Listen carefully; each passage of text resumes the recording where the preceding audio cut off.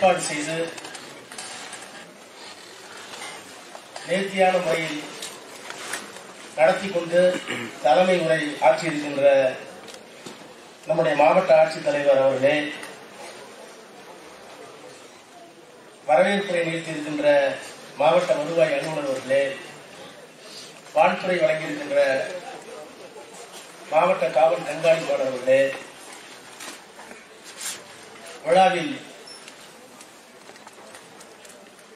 விழா பேருரை நிகழ்த்த இருக்கின்ற தேர்ந்த சிந்தனையாளர் திரைப்பட இயக்குனர் நாடறிந்த பேச்சாளர் என்னுடைய அன்பிற்குரிய சகோதரர் கரு பழனியப்பன் அவர்களே மேடையிலே விற்றிருக்கின்ற அரசு அலுவலர்களே தேர்ந்தெடுக்கப்பட்ட உள்ளாட்சி அமைப்புகளுடைய தலைவர்களே பிரதிநிதிகளே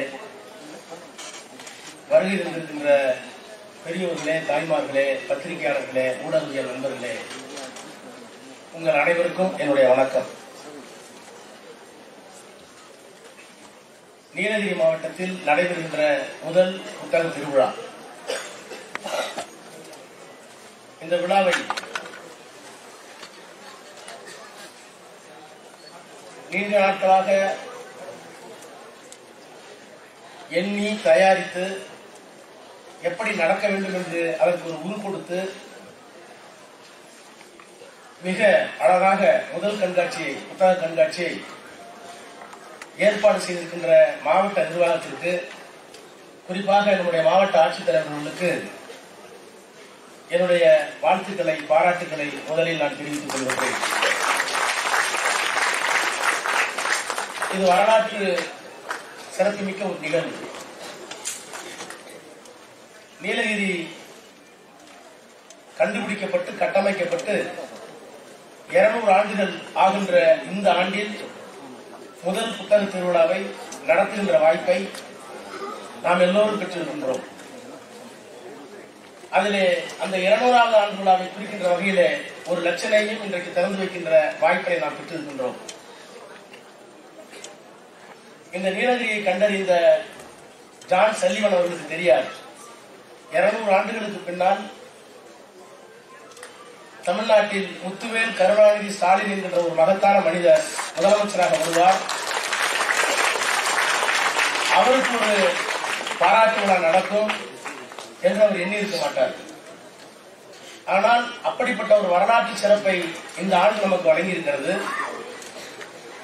எனக்கு இருக்கிற பெருமை எல்லாம் தமிழ்நாட்டிலே இருக்கின்ற பாண்டிச்சேரியை சேர்த்து பாண்டிச்சேரியும் சேர்த்து நாற்பது நாடாளுமன்ற உறுப்பினர் இருக்கிறோம் நாடாளுமன்றத்தினுடைய மைய மண்டபத்தில் எந்த தொகுதி எம்பி என்று கேட்டால் சென்னை எம்பி என்று சொன்னால் ஓரளவுக்கு அங்கீகாரம் இருக்கும். அவ்வளவுதான் தெரியும். வேற எந்த ஊரை சொன்னாலும் ஏதோ ஒரு ஊர் நினைப்பாங்க அவ்வளவுதான். ஆனா ஒட்டு ஒட்டு முழுக்க இந்தியாவில் நான் நீலகிரி எம்பி என்று சொன்னால் தெரியாத ஆளே கிடையாது. அந்த நீலகிரிக்கு ஒரு இருநூறாவது ஆண்டு விழா நடக்கிற போது நான் நாடாளுமன்ற உறுப்பினராக இந்த தொகுதிக்கு இருப்பதிலே மிகுந்த மகிழ்ச்சி அடைகிறேன். நான் இந்த தொகுதியுடைய நாடாளுமன்ற உறுப்பினராக இருந்து நான் இருந்து முதல்வர்களிடம் இந்த நீலகிரி தொடங்கப்பட்டு இருநூறு ஆண்டு ஆகிறது.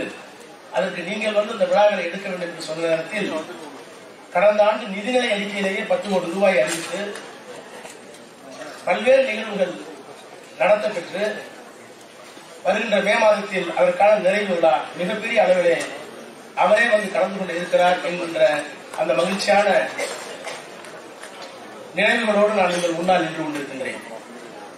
எனவே அந்த வகையிலே நம்முடைய நீலகிரி மாவட்டம் இன்றைக்கு நடைபெறுகின்ற புத்தக திருவிழாவாக இருந்தாலும் நடைபெற்றுக் கொண்டிருக்கின்ற இருநூறாவது ஆண்டு உதகை விழாவாக இருந்தாலும் இந்த ஆண்டு இந்த மாவட்டத்திற்கு ஒரு வரலாற்று சிறப்புமிக்க ஆண்டாக அதுல இன்னும் கூடுதலான ஒரு சிறப்பு புத்தக திருவிழாவை முதன் முதலாக நம்முடைய மாவட்டத்திலே துவங்கி இருக்கிறோம். அதிலேயும் நம்முடைய முதலமைச்சர் அவர்கள் பொறுப்பேற்றதற்கு பிறகு ஆக்கப்பூர்வமான திட்டங்கள் என்பது வேறு.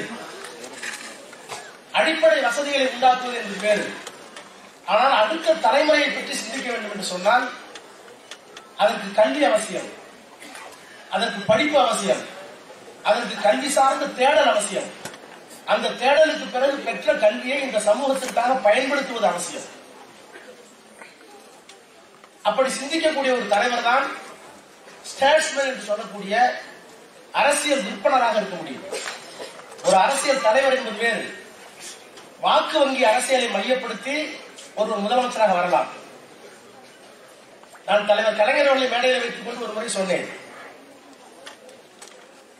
அரிசி தருகிறேன் வீடு தருகிறேன் என்று வாக்கு வங்கியை மையமாக வைத்து மனதில் வைத்துக் கொண்டு தேர்தல் நேரத்தில் வாக்குறுதிகளை வைத்துவிட்டு ஆட்சி பொறுப்பிற்கு வருகிறேன். ஆனால் உங்களுக்கு இருக்கிற மிகப்பெரிய சிறப்பு என்று அது கலைஞரை பார்த்து சொன்னேன்.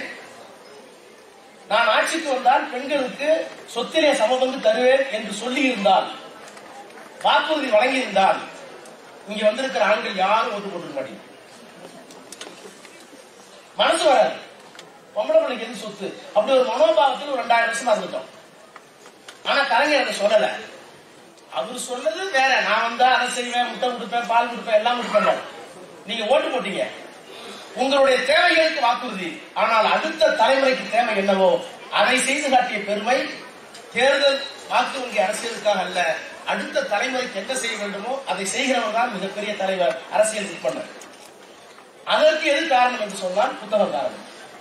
அதற்கு எது காரணம் என்று சொன்னால் கல்வி காரணம். இப்படி சொல்லிக்கொண்டே போகலாம். ஆக வாக்கு வங்கி அரசியலுக்கு அப்பாற்பட்டு ஒரு தலைவர் இருக்கிறார் என்றால் அந்த தலைவருக்கு பின்னால் ஒரு தத்துவம் இருக்க வேண்டும். அந்த தத்துவத்தை தருவதற்கு கல்வி வேண்டும். அந்த கல்வியை தருவதற்கு புத்தகம் வேண்டும். அப்ப கடைசியா எங்க வந்து நிக்கிறோம்னா நீ என்ன படிக்கிறியோ எங்க நிக்கிறியோ எந்த தத்துவத்தை நிக்கிறியோ அதுதான் உனக்கு படைச்சிருக்கு அதுதான் தரும் இப்ப நான் ஒரு சாதாரண குடும்பத்துல பிறந்தவன். ஒரு விவசாய குடும்பத்துல பிறந்தவன். நான் ரொம்ப சுத்தித்தனம் பண்றேன்னு கொண்டு போய் பத்து கிலோமீட்டர் தள்ளி இருக்கிற பசங்க எல்லாம் மண்டையை உடைச்சிடுறேன் அடிச்சு விடுறேன் சுட்டித்தனமா இருக்கேன்ட்டு என்ன கொண்டு போய் ஹாஸ்டல்ல போட்டாங்க. ஸ்கூல்ல போட்டாங்க. உயர்நிலை பள்ளியில பாடாளூர் ஊர்ல. நான் எட்டாவது படிக்கும் போது அங்க பேச்சு போட்டி நடந்தது. தமிழ் ஒப்பித்து போட்டி நடந்தது. இந்த தமிழ் ஒப்பித்தல் போட்டியில நீ கலந்துட்டா அவனுக்கு பரிசு கிடைக்கும்னு சொன்னவன் மறைந்து போன என்னுடைய ஆசிரியர் சொற்போ செலவுன்னு ஒரு பிஎஸ்சி வாஜர் அவர் என் கையில ஒரு பேப்பரை கொடுத்து ஒரு கவிதை இருக்கு இதை படிச்சு சொல்லுங்க அது வரைக்கும் எனக்கு எல்லாமே தெரியாது. நான் வேற இடத்துல கூட சொல்லியிருக்கேன் கேட்டுப்பீங்க பல பேர். பேரறிஞர் அண்ணா இறந்து விட்டார். இறந்த போது அன்றைக்கு கலைஞர் எழுதிய கவிதை. ஒரு நெடிய கவிதை. எனக்கு ஏறத்தாழ ஒரு நாற்பது நிமிஷம் போகும். அது போக எனக்கு மனப்பாடமா தெரியும். ஆனா எங்க புள்ளி கொடுத்ததுன்னு கேட்டா அதை படிச்ச சொன்ன பரிசு வாங்கினேன். ஆனா அது ஒரு ஒரு சம்பவம் வருகிறது அண்ணா எப்பயும் கிடைக்கவில்லை. புவியூர் விட்டு புகழூரில் வாழுகின்றான் கவியூர் பெருவேந்தன் குரலாசான். புரியுதா உங்களுக்கு? என்ன சொல்ல வர்றாருன்னா தமிழன்னைக்கு வந்து தமிழை காப்பாற்றுறதுக்கு ஆள் இல்லையா? ஓடினால் ஓடினால் நேர போய் திருவள்ளுவர் இருக்காராம். அவர்கிட்ட போய் இந்த அம்மா பேசுது. பாடினால் தமிழன்னை சோக பாட்டு பாடினால் தமிழன்னை எல்லாம் சொல்லிட்டு மேல போய் திருவள்ளுவர்கிட்ட கேட்டு நீ மீண்டும் பிறந்திட வேண்டும் என்றால் திருவள்ளுவர் சொல்லுகிறான் எனக்கு தங்கம் எடுக்கவா என்றான் பொருளும் இல்லை தமிழர்கள் மனமெல்லாம் தங்கமாக ஆக்க என்றான் இன்றென்ன ஆயிற்று என்றான் இன்னைக்கு என்ன ஆயிப்போச்சுன்னு கேட்டான். சென்றடைய குடிநிலை ஏழைக்கென்றால் அழுதகல்லை குடைத்தவாறு அமுதமொழி வந்தவனும் அம்மா நான் எங்கே பிறப்பதென்றான் தொழுத மகன் உச்சி போந்து ஆழ விடுதலையே கைகளாலே அணைத்துக் கொண்டு கற்கண்டே தென்பாகே திருக்குறளே நீ காஞ்சியிலே பிறந்திடுகின்றான் பிறந்துட்டான் என் மன்னனாக அறிவு மன்னனாக அப்ப தமிழனை போய் திருவள்ளுவர்கிட்ட போய் அண்ணா யாருன்னு எனக்கு தெரியாது. அப்ப அண்ணா யார் திருவள்ளுவர் யார்? அப்ப அண்ணாவை பிடிச்ச இப்படி தேடல் போய் ஒரு கட்டத்துல காரல் மாசம் வரைக்கும் போய் இந்த மண்ணிற்கு வருண ஒழிப்பு தேவையா? கேஸ்ட் வேணுமா? என்கின்ற ஒரு பெரிய விவாதத்திற்கெல்லாம் கல்லூரி நாட்டில் நீ கொண்டு போய் சேர்த்தது ஒரு சிறிய புத்தகம் மட்டுமல்ல அந்த புத்தகத்தில் உள்ள கணக்கு அறிவுள்ள ஒரு புத்தகம் விழுந்தால் கல் விழுந்தாக ஏற்படும். உடல் உழைப்பு இல்லாத செல்வர் உலகையாண்டு உலாவலும் கடவுளான என்று வைத்த கயவர் கூட்டம் மீதிலே கடவுள் என்ற கட்டெடுத்து தொழிலாளரை எழுதும் நீ இப்படிதான் கஷ்டப்படுன்னு சொல்லி கடவுள் சொல்லிட்டாலும் அந்த கடவுளை அடிச்சு நொறுக்கி நீ முன்னேறு. என்று புரட்சிகரமான பாடல்கள் வருகிற போதுதான் அந்த சமூகத்திலே ஒரு தாக்கத்தை ஏற்படுத்தும். அந்த தாக்கத்தை நீங்கள் படித்தால் தான் அந்த சமூகத்தில் ஏதாவது செய்ய வேண்டும் என்ற எண்ண உணர்ச்சி உங்களுக்கு தோன்றும். எனவே நீண்ட நெடிய உரையை மிகப்பெரிய சிந்தனையாளர் படிப்பாளி நாங்கள் பல மேடைகளில் பேசியிருக்கிறோம். அவருடைய நேரத்தை நான் எடுத்துக் கொள்ளக்கூடாது. எனவே வந்திருக்கின்ற மாணவர்களே கேட்கிறேன். வாசிக்கின்ற பழக்கத்தை கட்டாயம் ஏற்படுத்திக் கொள்வோம் இப்ப என்ன ஒரு பிரச்சனைனா நானும் பழனியை ப- படிக்கணும்னாக்கா லைப்ரரியில் போய் தேடு தேடி தேடுவோம். ஏறி வச்சு புதுசாக எடுப்போம். இப்ப எல்லாம் கூகுள் இருக்கு?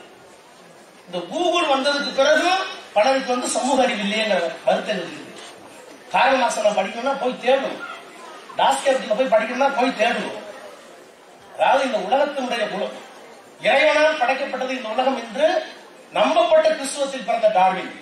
இது இறைவனால் படைக்கப்படவில்லை. இது வந்து ஒரு எவால்யூஷன்ல தான் வந்துச்சு என்கிற தியரி முத முதல்ல கொடுத்தான்.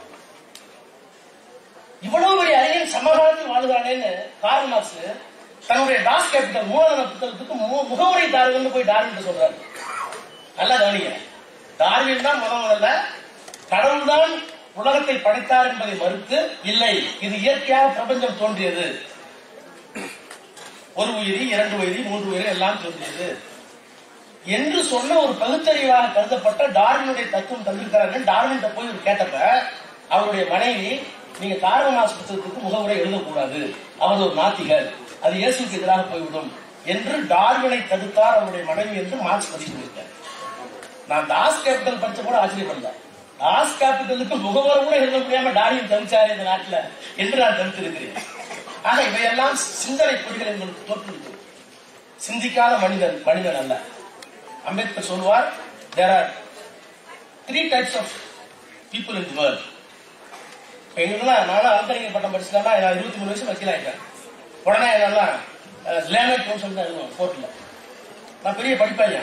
பெரிய அறிவாளியா? லேர்னர் கவுன்சில் அம்பேத்கர் சொல்வார் லேர்னர் வேற. படிச்சதுக்கு பிறகு சிந்திக்கணும் நீ. சிந்திச்சுன்னா கொஞ்சம் இன்டலெக்சுவல் லேர்னர் வேற இன்டலெக்சுவல் வேற.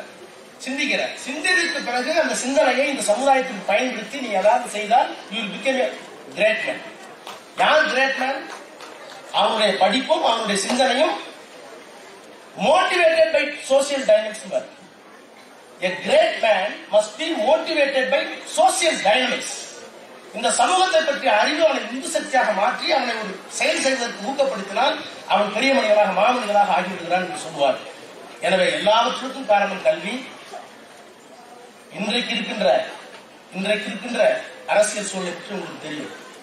இரண்டாயிரம் ஆண்டுகளாக எது நடக்கக்கூடாதோ எது நடந்தது தவறு என்று இரண்டாயிரம் ஆண்டுகளுக்கு பிறகு ஒரு நூற்றாண்டில் நாம் சரி செய்ய வேண்டும் என்று எண்ணுகிறோமோ அந்த ஒரு நூற்றாண்டில் சரி செய்த இதுவரை சரி செய்து கொண்டிருக்கிற சரி செய்ய போகின்ற எல்லாவற்றையும் மாற்றிவிட்டு மீண்டும் இரண்டாயிரம் ஆண்டுகளுக்கு முன்னால் போகக்கூடிய அளவுக்கு ஒரு ஆபத்தான சூழலை நாம் இன்றைக்கு பெற்றிருக்கிறோம். அவ்வளவுதான் என்னால சொல்ல முடியும். அதற்கு அரசு அதிகாரங்களே பயன்படுகிறது. நான் வெளிப்படையாக சொல்ல வேண்டும் என்றால் கவர்னர் மாளிகை கூட சமயத்தில் பயன்படுகிறது. எனவே இந்த நேரத்தில் சமூக அறிவு முக்கியம். அந்த சமூக அறிவை பயன்பட வேண்டும் என்று சொன்னால் நீங்கள் எல்லோரும் புத்தகத்தோடு வாழுங்கள். புத்தகத்தில் வாழுங்கள். புத்தகத்திற்கு பிறகு புத்தியோடு வாழுங்கள். அந்த புத்தியோடு வாழ்வது மட்டுமல்ல இந்த புத்தி இந்த சமூகத்துக்கு பயன்பட வேண்டும் என்று வாழுங்கள். நீங்கள் வாழுகின்ற காலத்தில் நான் வாழ்கின்ற காலத்தில் நான் சார்ந்திருக்கிற இந்த நாடு மொழி சமூகம் ஒரு அங்கலமாவது உயருமானால் என் மரணம் அமைதியாக முடியும் என்கின்ற அந்த உணர்வோடு வாசியுங்கள் என்று சொல்லி உங்கள் அனைவரையும் நன்றி பாராட்டி விடைபெறுகிறேன். நன்றி.